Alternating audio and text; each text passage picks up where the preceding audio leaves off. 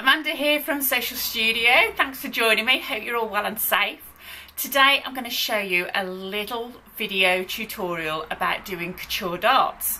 So darts, they can be a little bit of a nemesis, but couture darts really do make them posh.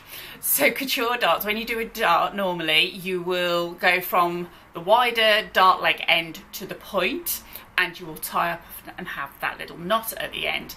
With the couture dart, you will start at the point and work back to the dart leg and you will have no tie-offs whatsoever. They really are the ultimate in uh, darts. So I will show you how we do that right now. Here we go. I have my bobbin already mounted into the machine and it has come up through the throat plate. So what we need to do is thread the needle with the bobbin thread but it needs to be it's not like we normally go front to back. We've got to come from back to front. So a little bit trickier. So with our threader there we go that's through. And I'm just going to hook that onto his beak and we pull back through the eye of the needle so then we're going to thread the machine. So we want to actually pull enough bobbin thread off and we are then going to thread up our machine just the way we would normally. Now make sure that you do give yourself enough thread at the top to complete your dart.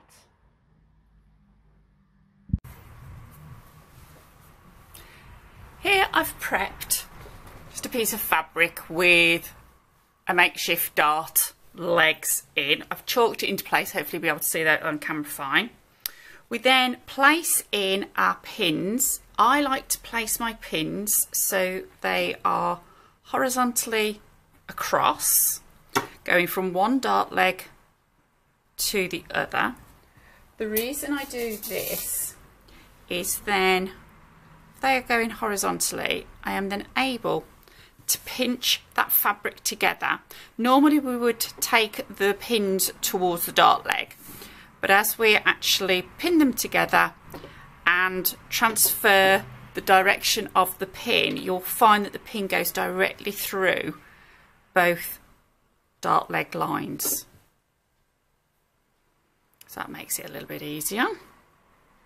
As I say, we're going to start from stitching from that point and that way we are using the bobbin thread in both our top thread and our bobbin thread and therefore starting at the point we can work towards the open end of the dart leg and stitch straight off.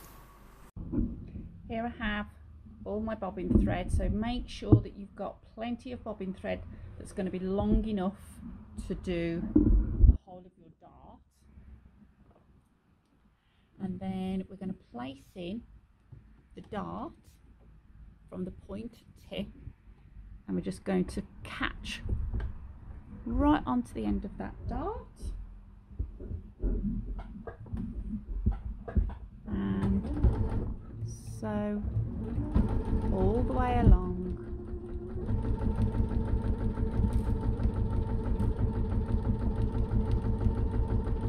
Until we come off the end.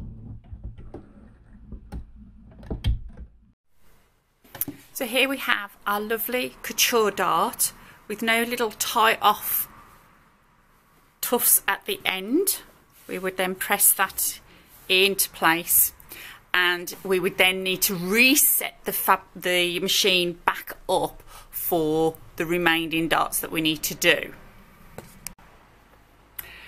So we would need to set up our machine each time in the same way, threading from the back to the front pulling up the bobbin thread um, and rethreading the machine. Yes, a little bit of work, but just like we do French seams, if we want something that little bit extra special, that couture technique, then it really is worthwhile. So I really hope you enjoyed and that little tutorial and that you have a go with them. Let me know how you get on. Leave a comment below and don't forget to give us a thumbs up guys and subscribe if you like the tutorials that you're seeing. Take care, have a lovely safe week and I'll see you soon. Bye now.